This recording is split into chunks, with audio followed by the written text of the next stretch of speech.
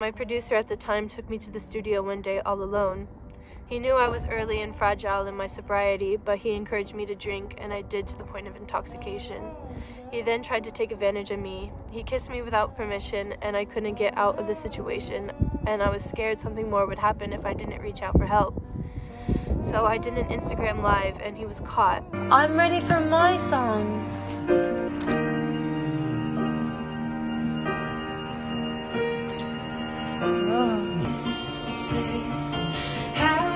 On Instagram?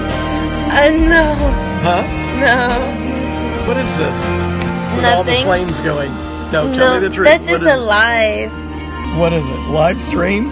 No. What is it? Tell me the truth. Mm, What are you on? mm.